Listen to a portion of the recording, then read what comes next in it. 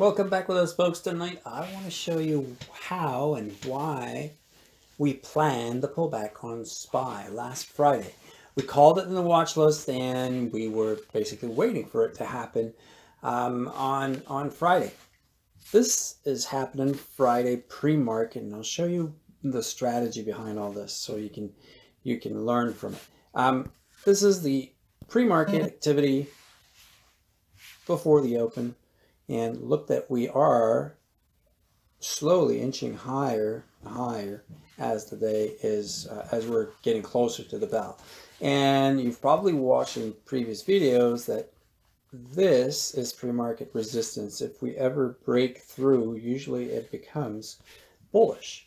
Um, what I don't like about SPY and even lately when we have well on Friday we had G7 European Union and NATO summits all on one day, um, it was bound to have a little bit of volatility and I was it was to expect that we could have some sort of pullback and not scream right off the bat to to um, break the the pre uh, pre market resistance. So um, usually when we we we get this kind of um, behavior pre market, if we break through, it becomes very bullish. But on a pre-market high open, usually we see some sort of a pullback and then we have a direction. And let's let's see how I was looking at it and I wasn't so sure about it because um, because of what what I just mentioned regarding the uh, the uh, volatility that was possible possible.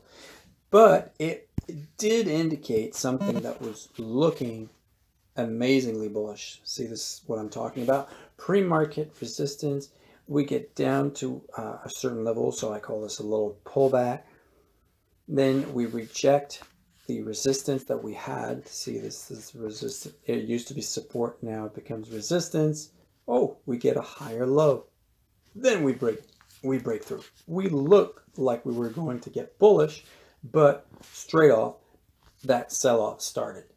Um, I was under the impression that it would have happened right, you know, closer to here, but it gave a fake signal, a fake bull signal, which is okay because I was not looking to play the upside.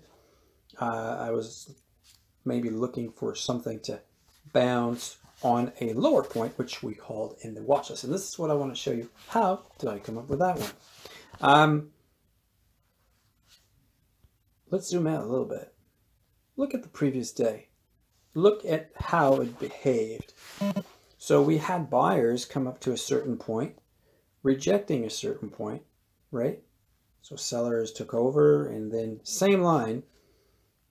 And then what happened? Oh, we broke through, right? And then that line was used as support and then we moved on.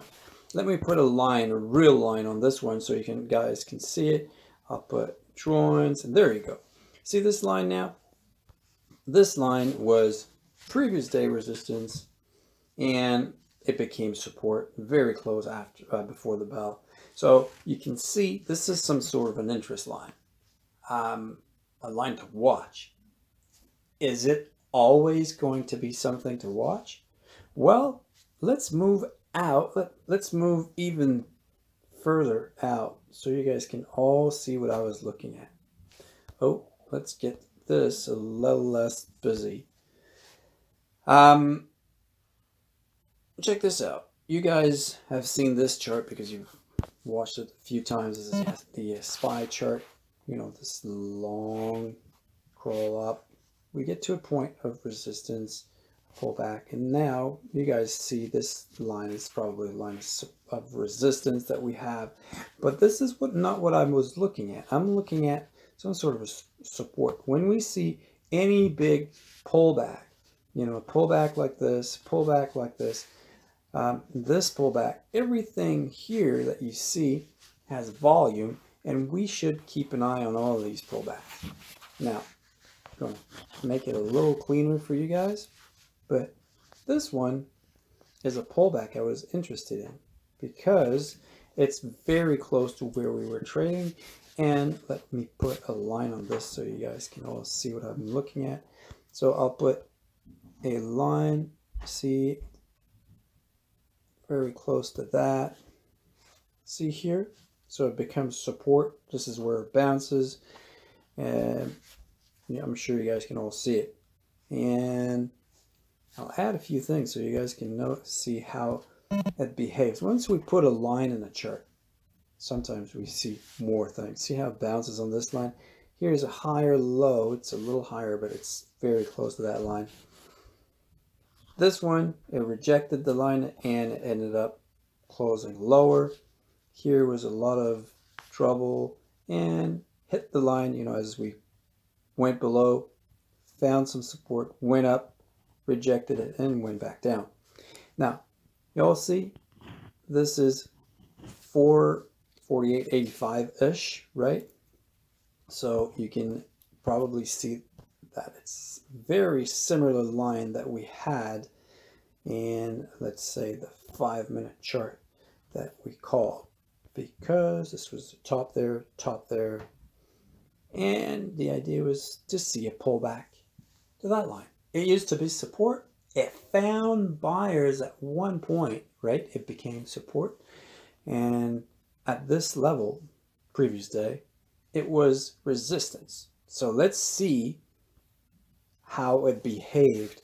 So basically when it came to that, it was flushing with a very large, um, you know, basically when you're when you're watching this, you have no interest in going long because you look oh you're looking at the whole thing saying oh man this is the end of the world. We're we're doomed. We're going down because you know we are 452 here and now 448 we have lost four dollars in a few candles. It looks uh, extremely bearish. However you know it's going to bounce somewhere.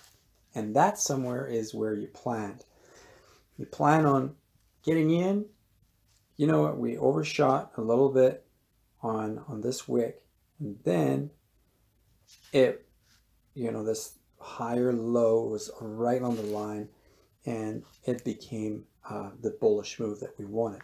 So on that line we alerted what? Because we were sitting on that on uh, on the um, on the plan that we had plan that we set before the market opened and the plan was what? If we get to our support line that we tested. Day before was resistance now it should test as support.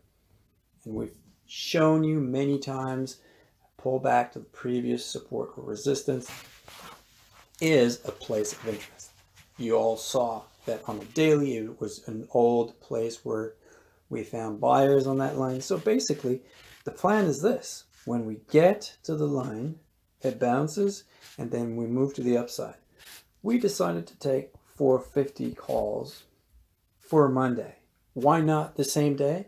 Well, various reasons. If we, if we start flushing um, even further, well, you know, we're losing value by a significant margin and we do not have a lot of time to catch up.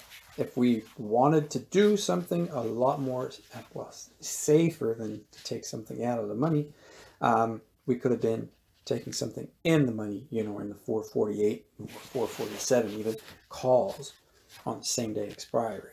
However, we decided to take Monday 450s and you know, you all saw that that 200 EMA rejected and then we went through and I decided to get out as we were hitting the pre-market resistance, which was here.